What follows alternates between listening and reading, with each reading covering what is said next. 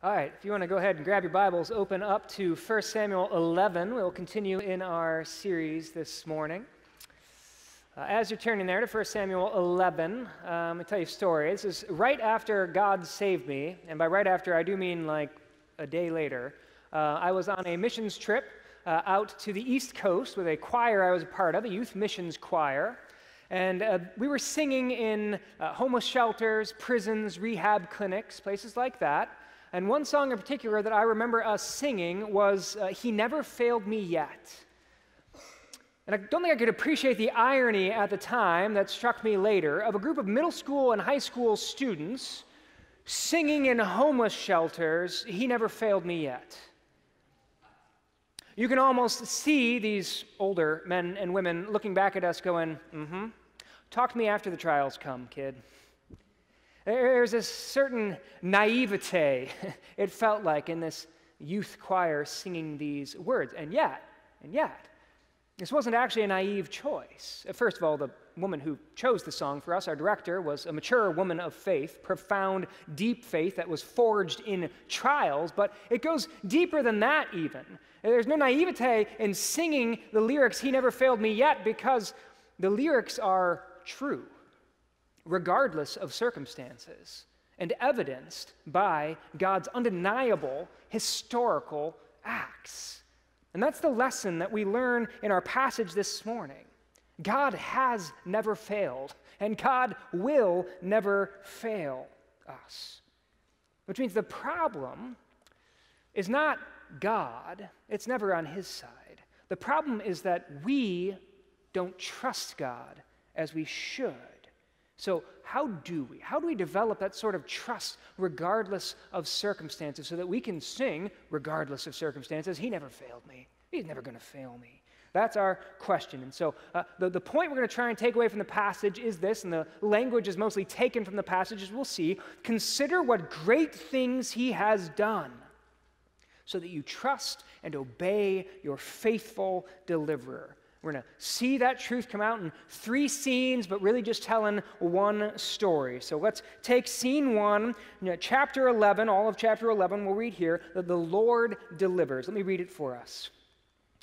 Nahash the Ammonite went up and besieged Jabesh Gilead.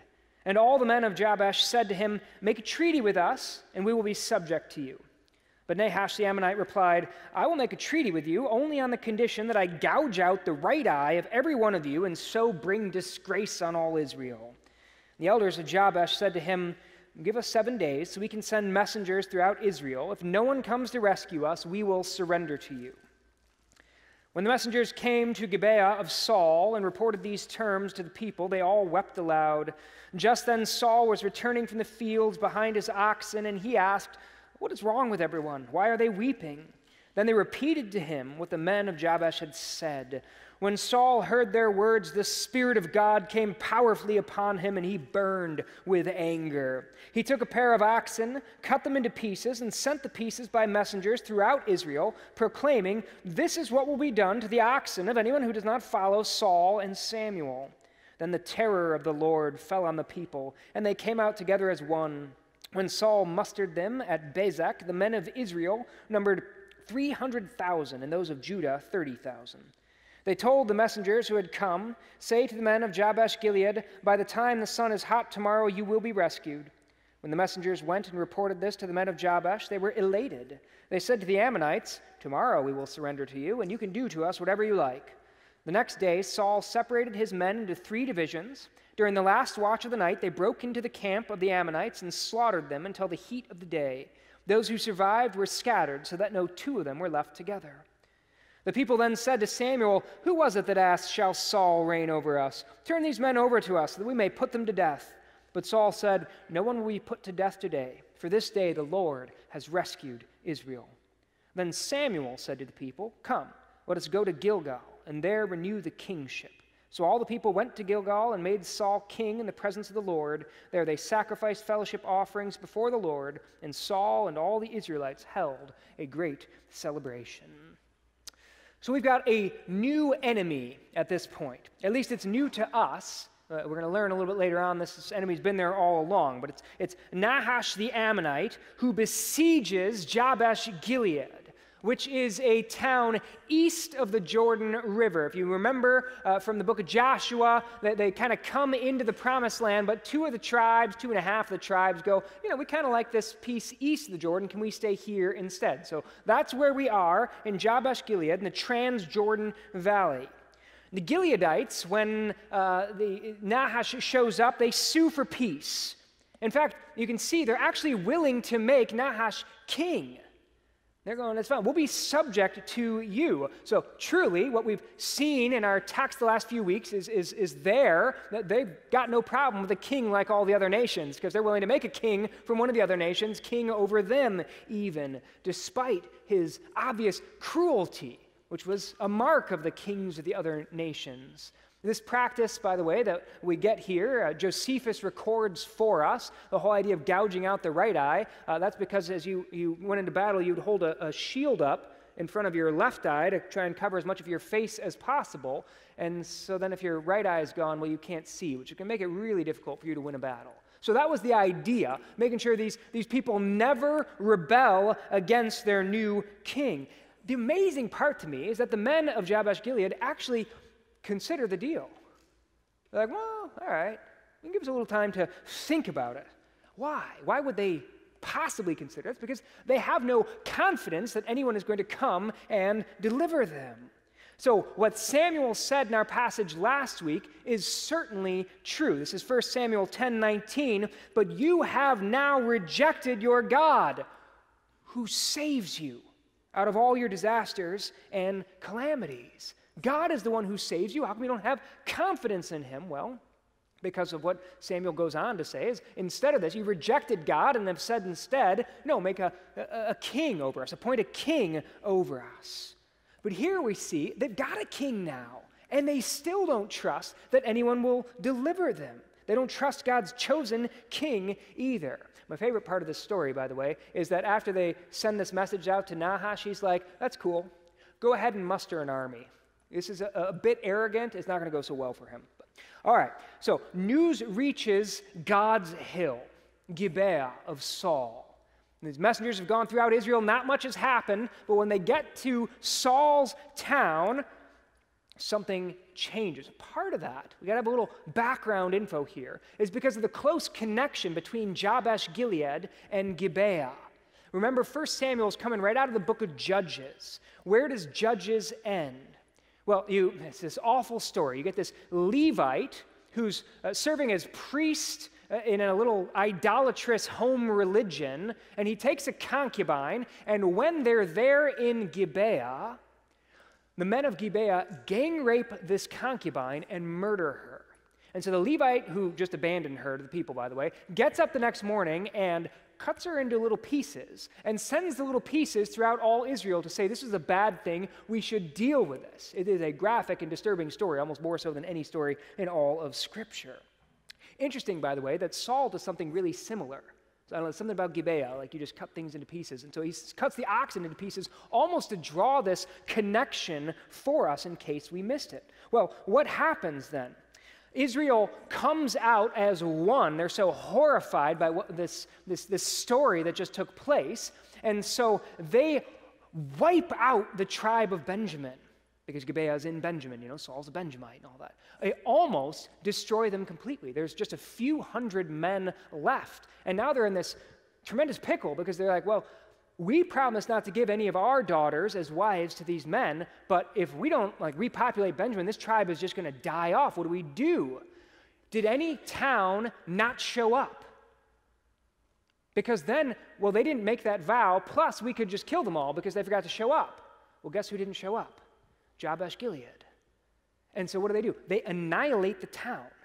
They go over there, they kill all the men and women in the town except for the unmarried virgins and give them as brides to these few hundred Benjamites that are left. What does that mean? It means we got relatives in these two towns. So when news comes from Jabesh Gilead to Gibeah, there are people going, well, that's my cousin.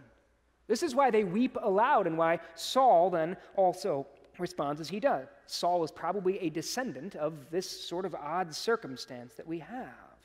So remember, the book of Judges ends with this whole there's no king in Israel, which is why it seems everybody's doing what's right in their own eyes, which has led to this. We accidentally murdered a whole tribe, and then we had to rape a village, and then, you know, all this stuff. Now there's a king. Are things going to be different this time? That's the question. It seems to be exactly the point Saul is making. So he sends these messengers back through all Israel again, but with a very different message this time. Jabesh Gilead was looking for a deliverer, and now the God appointed deliverer is compelling obedience to the cause of deliverance.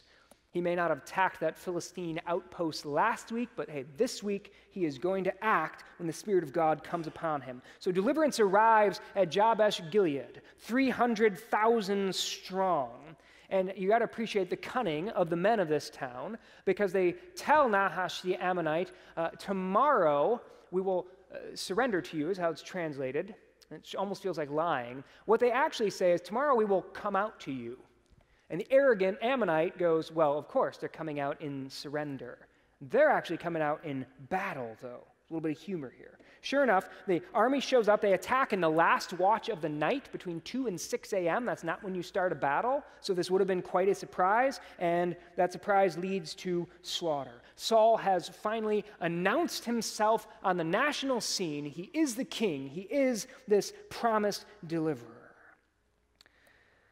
This leads the Israelites to go, well, all right, remember last week at the end here, they kind of said, who's this Saul guy? Why would we trust in him? Let's, let's get those guys and let's kill them. And Saul, uh, we're going to give Saul a pretty hard time throughout this book because he doesn't do so well. But this is a nice moment for him, at least, where he says, This is not the day for putting anyone to death. Because this day, look at what he says. This day, the Lord has rescued Israel. He recognizes what is very true that he is just an instrument of deliverance in the hands of the true deliverer, God. And then, verse 14, Samuel. We haven't seen Samuel at all in this chapter. But Samuel, apparently he's there, but Samuel now sets this happening in its historical context, where he says, let's go to Gilgal to renew the kingship. You got to remember, we're on the wrong side of the Jordan River at this point. So almost everybody's got to come back across the Jordan, back into the promised land. And so, what is Gilgal? Gilgal is the place where the Israelites first crossed the Jordan River on dry land as they begin the conquest in Joshua chapters 4 and 5. And they pile this uh, group of stones taken from the riverbed that's dry outside on the banks as this memorial to what God had done for them. And we read this in Joshua 5, verse 9. God speaking, Today I have rolled away the reproach of Egypt from you. So the place has been called Gilgal to this day. They rolled these stones over, and God says, That's because I've rolled the reproach of Egypt away. And so they call the place Gilgal, which means roll. That's where it comes from.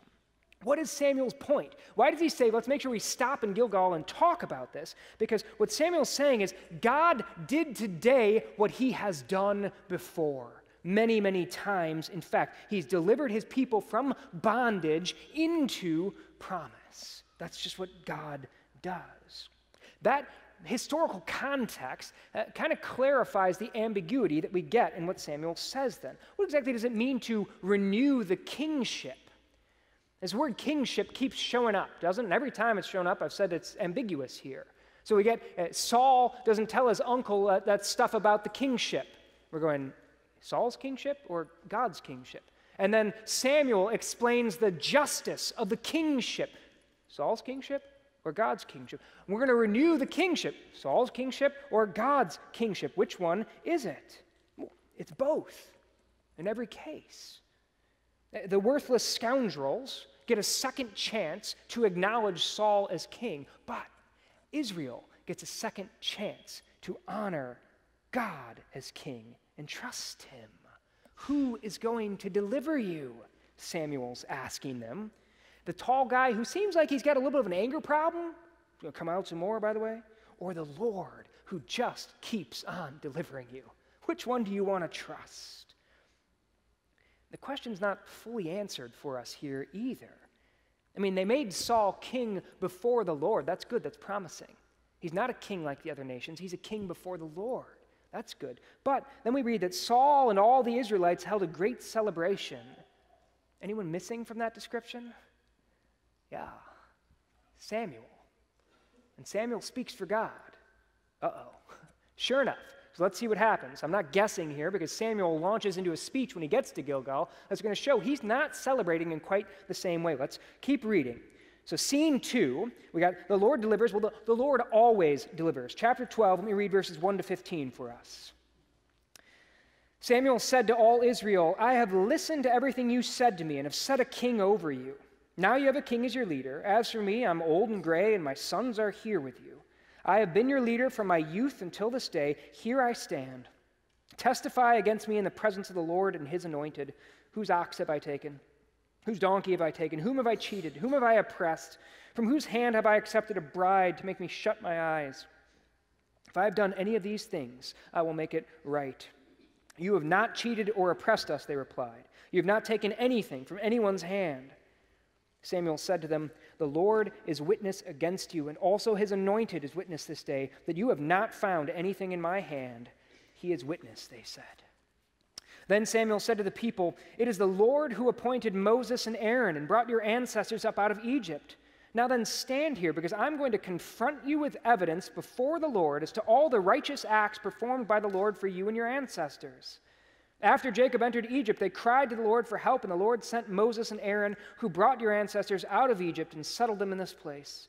But they forgot the Lord their God so he sold them into the hands of Sisera, the commander of the army of Hazor, and into the hands of the Philistines and the king of Moab, who fought against them. They cried out to the Lord and said, We have sinned. We have forsaken the Lord and served the Baals and the Ashtoreths. But now deliver us from the hands of our enemies, and we will serve you. Then the Lord sent Jerubbaal, Barak, Jephthah, and Samuel, and he delivered you from the hands of your enemies all around you, so that you lived in safety. But when you saw that Nahash, king of the Ammonites, was moving against you, you said to me, No, we want a king to rule over us, even though the Lord your God was your king. Now here's the king you have chosen, the one you asked for. See, the Lord has set a king over you.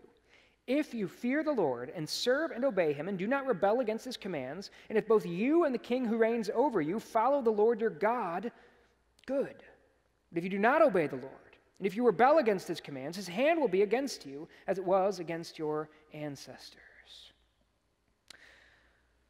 I don't know if it's in your Bible, in my Bible at least, this uh, little section here is called Samuel's farewell speech. The uh, section headings are, are not inspired. Somebody else put them there, okay? And Samuel's farewell speech, I, I get it, but it's, it's a little odd considering Samuel's going to be on the stage for another eight chapters or so. It makes sense because we, we can tell something's changing still. What exactly is it? Seems obvious. Here you get this guy up there who's going, I'm old and gray, and here's this young and handsome guy next to me. And oh, by the way, here are my sons. We haven't talked about them in a while, but you remember that they're uh, the corrupt ones, the whole reason you asked for a king. They're here too. So it seems really clear. The new is replacing the old. This is just a changing of the guard, right? Well, not quite. And Samuel is going to take great pains to make sure Israel understands exactly what is happening here.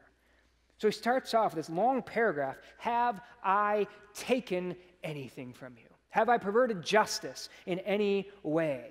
This repetition of the word take is important because this word has shown up quite a bit in the book so far. We read about Hophni and Phinehas who kept taking what didn't belong to them. And then in 1 Samuel 8, Samuel explains if you put a king over you, what's the king going to do? He's going to take.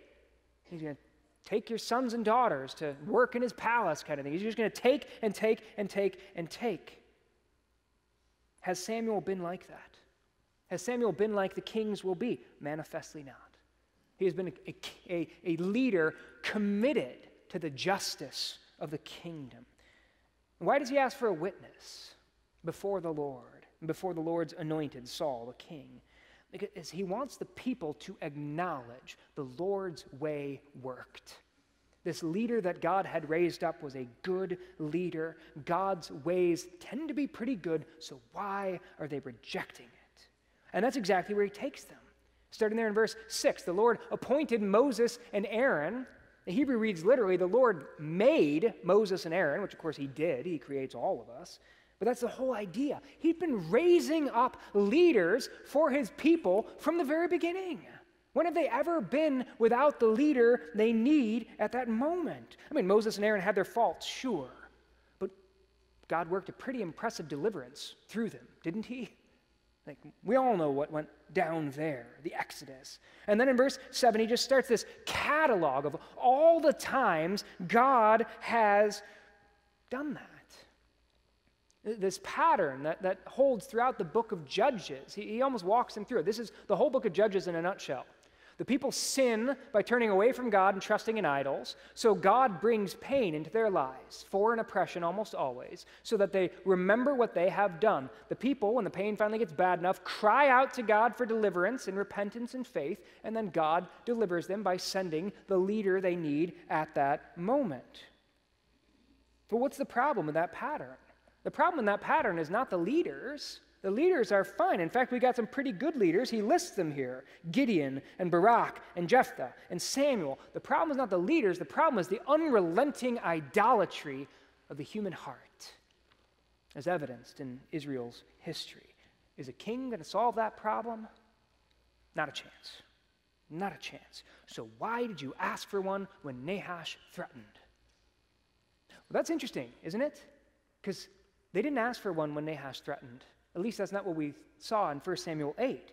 So, a little interesting, we, we learned that Nahash must have entered the scene a little earlier, we just weren't told. We were so focused on the problem to the west of us, the Philistines, that we were paying no attention to the problem on the east of us, which, of course, the people of Jabesh Gilead cared quite a bit about, which was the Ammonite threat. And so that's at least part of what prompted chapter 8. This is one piece of them saying, no, no, no, appoint a king over us. And Samuel's going, look back at your history.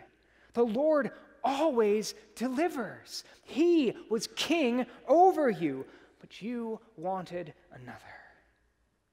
So this time the pattern breaks. That's the whole problem. You have the sin of idolatry God brings consequences into their lives so that you got a threat from the west and the east, and the people don't cry out to God. They cry out for a king instead. Appoint a king over us. And Samuel says, So here he is. Here's your king. Here's the one you asked for. Remember, his name is asked for. And then, other part of verse 13, this is the one the Lord has set over you. This is the king the people chose, and at the same time, this is the king God chose. A little bit of a tension there. Like, whose king is this exactly? The tension is resolved in verse 14. If, okay, he can be both your king and God's king, if, if what? If you, if you fear the Lord, serve and obey him, both you and the king. Here's the incredible thing. Let me read you uh, how this is in the, in the Hebrew, literally, though. Verse 14 If you fear the Lord and serve and obey him, and do not rebel against his commands, and if both you and the king who reigns over you follow the Lord your God, dot, dot, dot. There is no good there. Samuel's voice just trails off. Why? Because he knows that's not how it's going down anyway. So he just goes into, you know what, let me, let me start verse 15 here because this is the way it's actually going to happen. But if you do not obey the Lord, if you rebel against his commands, his hand will be against you and against your fathers. You see the problem? It's not God. It's not even God's leaders, because he's had a habit of raising up good ones. It's our twisted hearts. The heart of the problem is the problem of the heart, we say a lot. The problem is they don't trust God to deliver them. We have the same problem. As soon as our circumstances change so that we're out of that tight spot, we start to rely on ourselves again or rely on whatever it is the job, the approval, the finances, the, just take your pick, right? We're so slow to learn. Like, we have guinea pigs in our household Reepicheep and Peepicheep, beloved pets. Um, guinea pigs are not bright creatures. Okay, not known for their intelligence. They aren't dolphins or something like that. So they may not be bright, but over the course of the last year and a half, every day when I walk downstairs, one of the first things I do is feed the guinea pigs their hay. Because it's happened so often, several hundred times now, these guinea pigs that are not smart have learned to distinguish my step on the stairs, and they freak out when I'm coming down. They do not freak out for Amy, who comes down before I do. They know she doesn't give a squat. You gotta feed them, okay? It's okay. It's my job. These are my pets. I advocate for them. It's no problem. All right. So they, they know why. Not because they're bright, but just because of constant repetition, they've figured this out. How come we're slower than guinea pigs? like, that's the whole question here.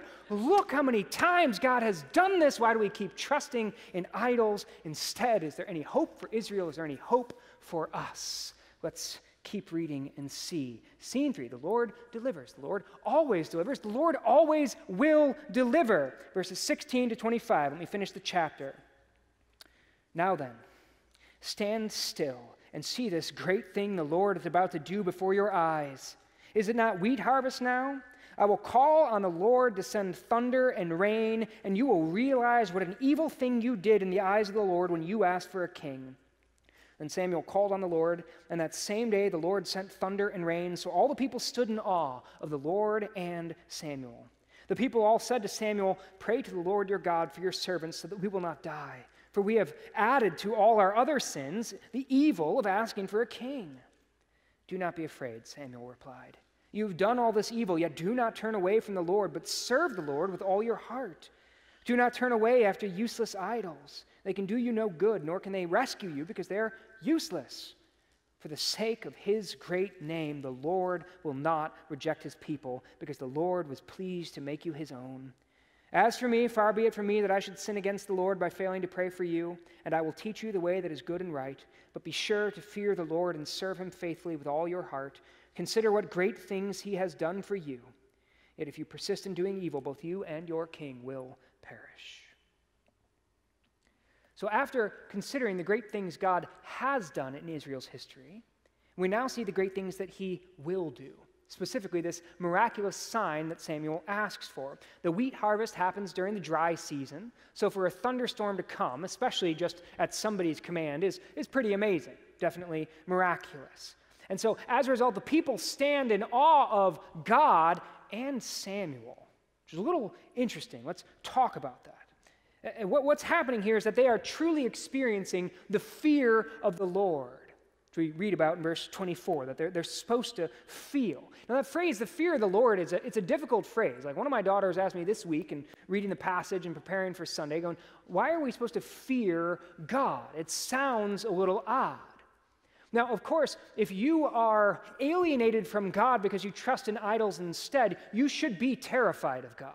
And so that fear piece, that's, that's kind of literal. But if you have hidden yourself in God by your faith in Him, it, what's meant is not terror, but a reverent awe.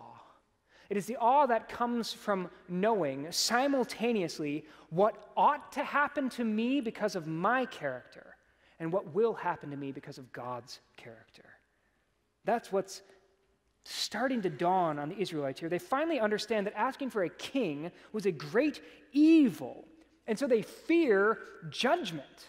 That's a good thing. That's God's grace at work in their lives that they now fear his judgment. And so they ask Samuel to intercede. Like, you got to pray for us so we don't die, man. And it's interesting. They say, Pray to the Lord your God it's like they understand that they are alienated from God in this moment, which is why they're terrified. This is part of why they then stand in awe of Samuel as well. They're in awe of Samuel as God's mouthpiece. In essence, they, they fear God and God's powerful word.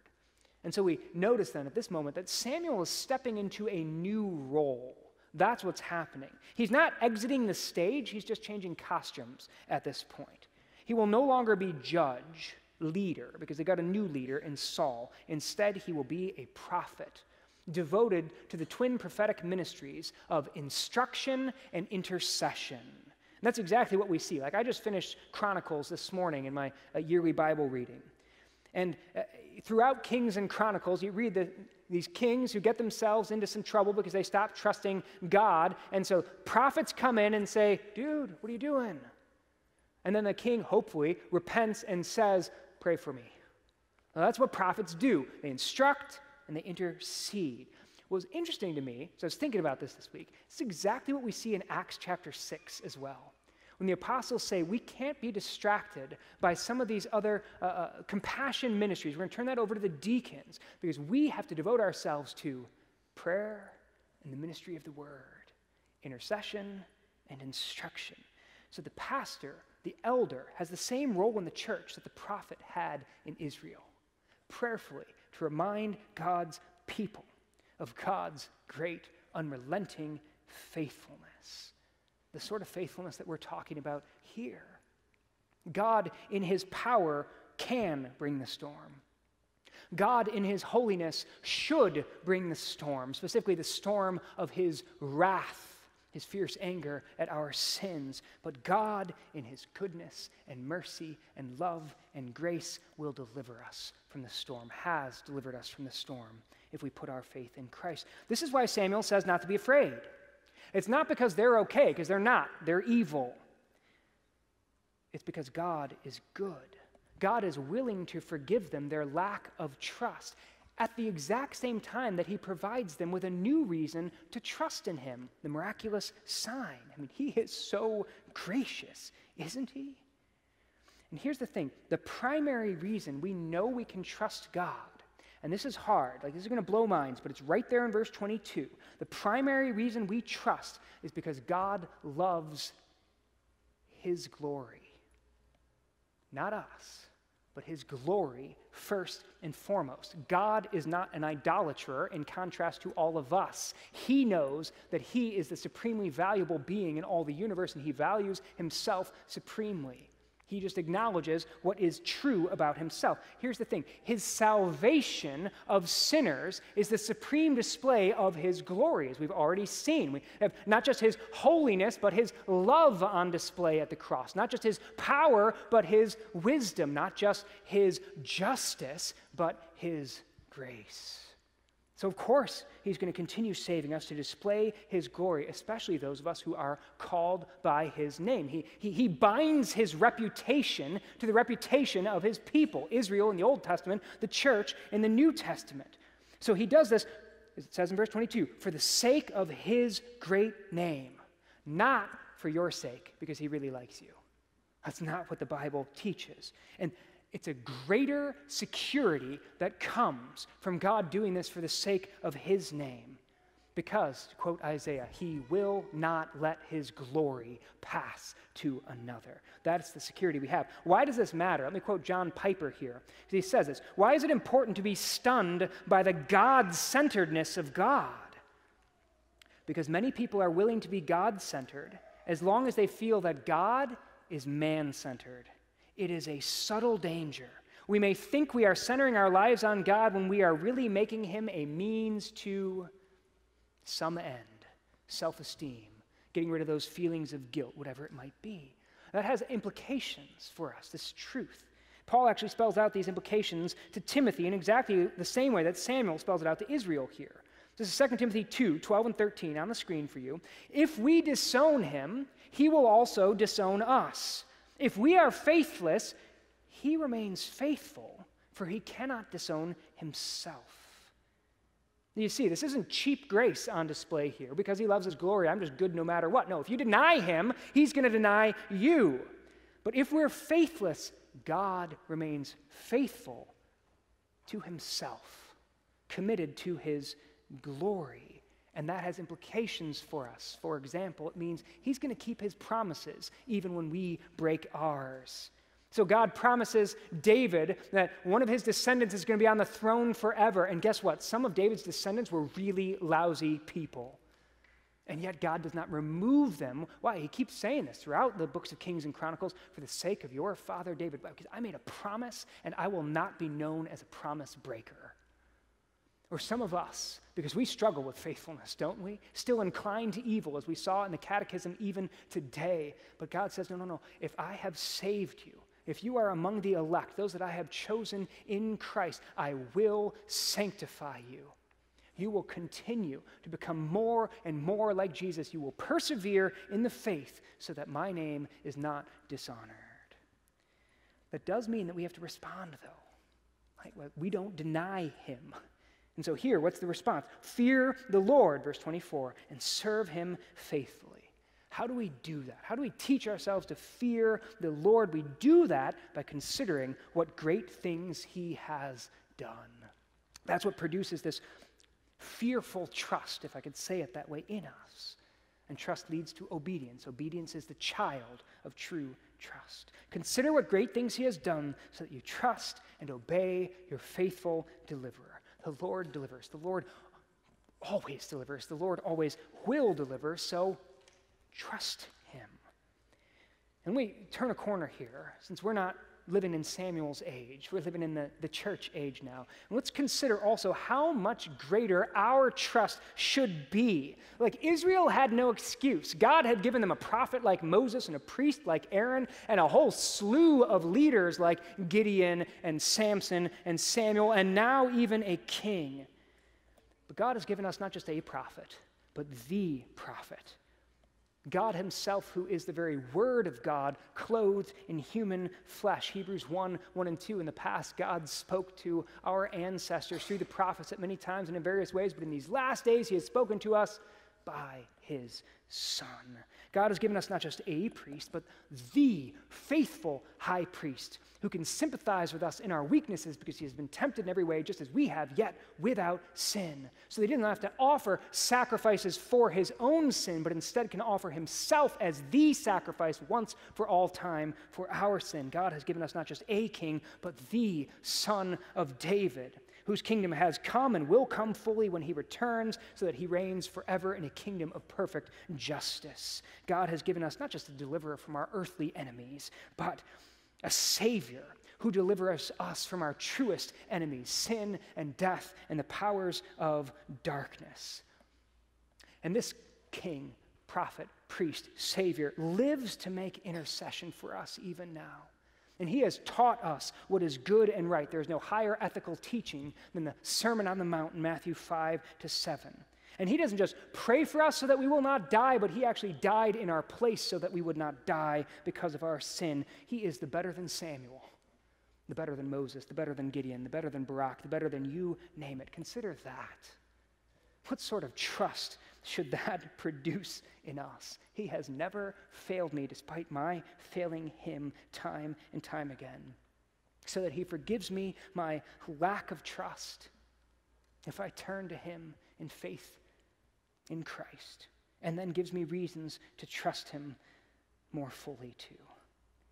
That, that sawtooth history of Israel, we trust God and then we stop trusting God, and we trust God and we stop trusting God, that plays out in our own lives too, doesn't it? Uh, listen to what Thomas Brooks, the Puritan preacher, says. He says, Everything that a man leans upon but God will be a dart that will certainly pierce his heart through and through.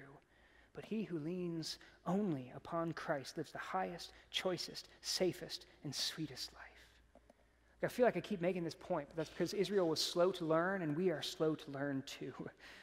We keep running back to idols. Here's the question again on what do you lean?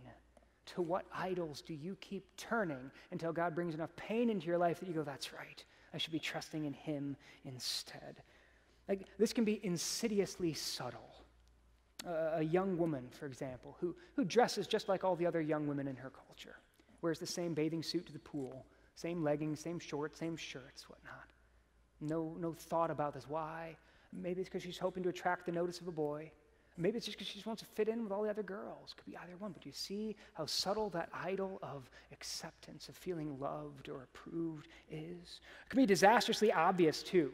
Like the addict returning to his addiction pornography, alcohol, heroin, shopping. I don't care what addiction it is, over and over again, like a dog to vomit. Never realizing that it's never going to satisfy. You're trying to, to fill this hole in your heart, and instead you're just digging the hole deeper and deeper. You know, law of diminishing returns, whole idea. So let me as you examine your heart and you start to see these things, let me make this plea. Let me make this plea. I want to speak, first of all, to the nominal Christians who are here in this room today. The most dangerous place to be is the one who's playing Christianity. Like that is the scariest place in the world to be. Those are the ones who should be terrified of God. There are some here because showing up to church is part of what means to play Christian. There's no real trust in God, though. If you're leaning on something else, let me make this plea. It's going to sound strange, but I think it's biblical you're going to lean on something other than God, then just lean on it fully. Stop playing Christianity. Just go off and do it. If you think that will save you instead, then do that one for a while. To use Paul's language, uh, just abandon your body to Satan for destruction in the hopes that your soul may be saved. But just do this before you go. Ask God, God, if you exist, would you let this staff splinter in two and pierce my very heart so that I will know what a cruel master my false God is? And again, that piercing in two could be really obvious. Let's take our young woman again. Let's say she does manage to attract the notice of a boy, but it's the sort of boy who's attracted to a woman because of the way she dresses, and that's not a good boy to find. And so what happens? At the end of it, she is used and abandoned. Uh, that's a piercing she's going to notice. It could be really subtle in that your false God may give you absolutely everything you want. And so there you are, you got the spouse, you got the 2.4 kids, you got the McMansion, the Mercedes, you get the title, you get the promotion, whatever it is you want, and you just realize that there's still a gnawing ache inside of you. That's the subtle piercing that happens when you realize it is not enough. When that moment comes and you are pierced, turn and trust. God has provided for your forgiveness in Christ if you will turn to Him and given you so many reasons to trust. And that's for all of us too. Look, for those of us who are here are going, no, I don't, I don't want to lean on anything else. I would like to lean on God and God alone. Examine your trust. Like start to look at where do you lean as soon as you start getting away from God. Like I know for me it's achievement instantly. Soon as I stop preaching the gospel to myself, I'm going to lean. If I achieve things, then I win the approval of people, which gives me that sense of significance that I long for. It's the danger I face every time I step into the pulpit. Right, so examine your trust, see where you start to lean, and then fear God instead and serve Him faithfully. How do we produce godly fear? Consider what great things He has done. We keep coming back to this. Consider what great things He has done for us in Christ, especially. Preach the gospel to yourself. If you keep preaching the gospel to yourself, you see the gospel meets all our needs, and you're going to discover you're standing upright.